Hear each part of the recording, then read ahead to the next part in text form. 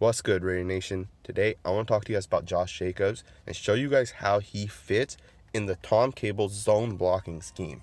Now, most people might think that Alabama ran a power football scheme, but that's not necessarily true. In fact, most teams, college and in the NFL, run zone blocking most of the time. The primary reason why that is because it's just a smart thing to do. I'm going to explain to you guys uh, using a analogy of the New England Patriots offense. When Julian Edelman runs a route, there's a lot of ifs in his route. If the linebacker is playing three yards to the inside, he's going to run an out route. If the safety is on the outside, he'll run a post to the inside. There's a lot of ifs, and that's kind of how zone blocking works.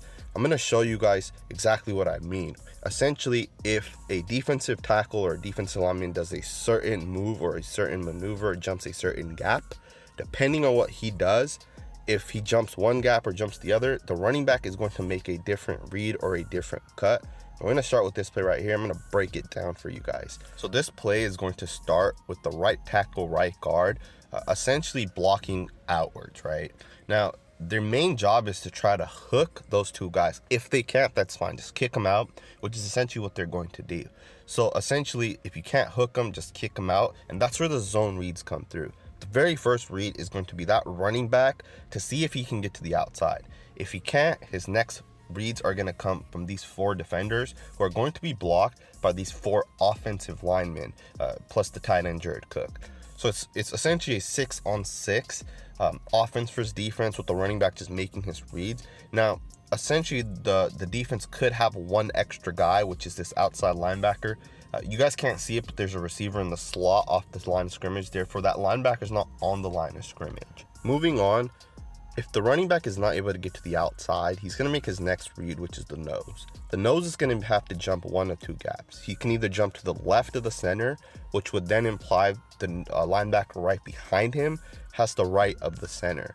Now, that's going to give you a different blocking scheme. Now, this does not actually happen. This is just a if scenario. Um, but essentially, if this were to happen, um, the left guard would pick up that nose. He's essentially going to just down block him, uh, and the center will take that linebacker.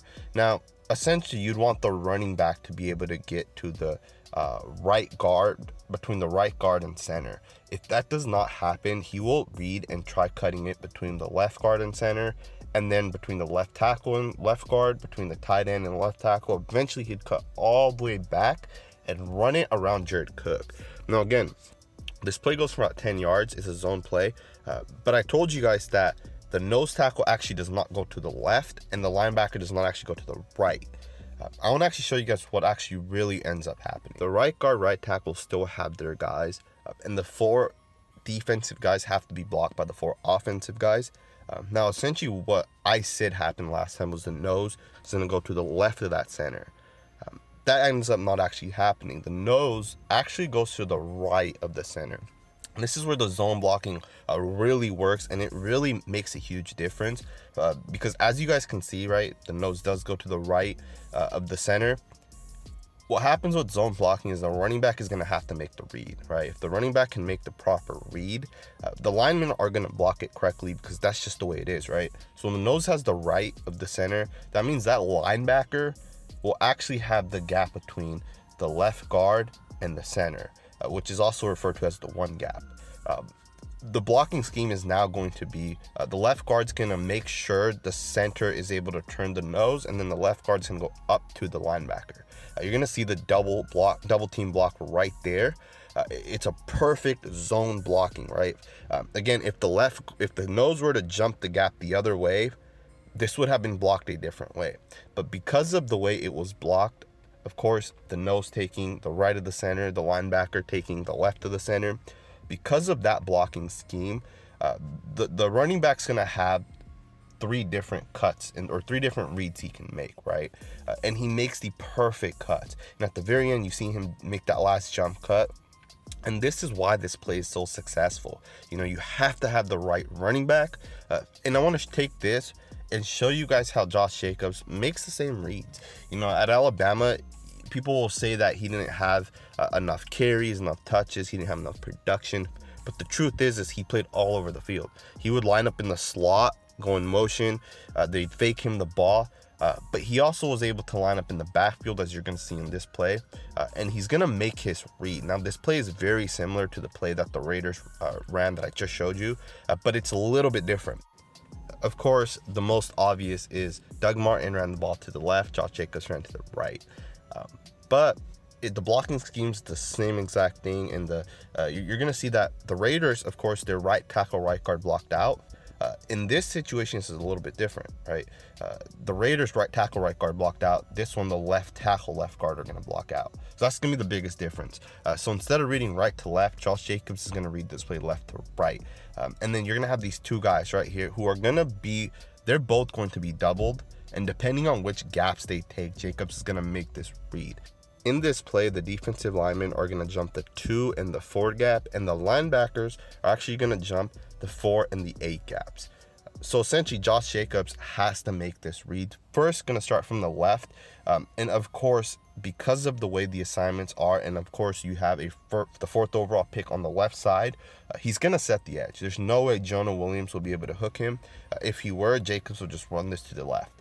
But because he can't, um, essentially you're going to see all the blocking schemes um, of course you got the first two guys right here that are going to start it off um, but essentially every person is going to get down blocked and jacobs is going to end up cutting it all the way back to the right side. Uh, and you're going to see it as soon as the play begins. Um, you know you, you, see that the edge is set and of course jacobs is going to um, read that. He sees that the the left side is set. He's going to make his next two reads. Now if you look at this linebacker right here the linebacker jumps this gap. Because of the zone block by the tight end and right tackle, the tackle is able to pick that up. Uh, and then, of course, the receiver makes a nice block as well. It's a nice down block. And that leaves Jacobs one on one with the corner or safety or whomever it may be. And of course, Jacobs is going to win. Uh, and that's the beauty of the zone blocking. You know, you're going to have combination blocks between the guard and center, center and uh, guard and tackle, tackle and tight end uh, essentially, and you're gonna just read because the fact that in the NFL, every single uh, play on defense, you have a gap assignment.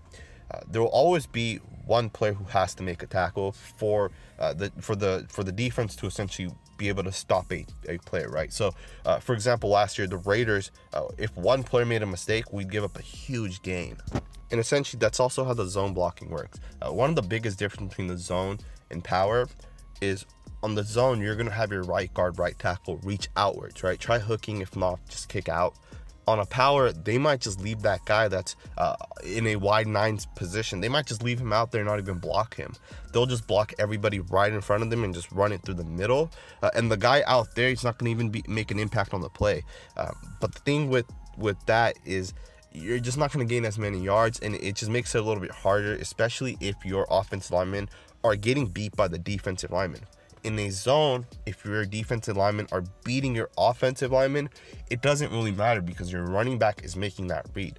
Uh, if you guys watch zone blocking teams, a lot of the time uh, from the camera angle that we see on TV, right from the side where you see, uh, you know, essentially you're gonna see like the offensive lineman versus defensive lineman, but it's not the end zone angle. It's not you know from behind the the uh, offensive lineman or defensive lineman. You see it from the side, right? Oftentimes it looks like the defensive linemen are getting upfield and the play is going to be stopped, right? The running play is going to be stopped for negative yards. But the reason why that does not work is because in a zone blocking scheme, um, you can let the you can let the defense lineman run upfield. The running back's going to make the cut and make the read, uh, and that's why the zone blocking scheme is the future, right? Teams understand that uh, in today's NFL, you have players like Aaron Donald who are going to run upfield for the sack, right? Just let them run upfield.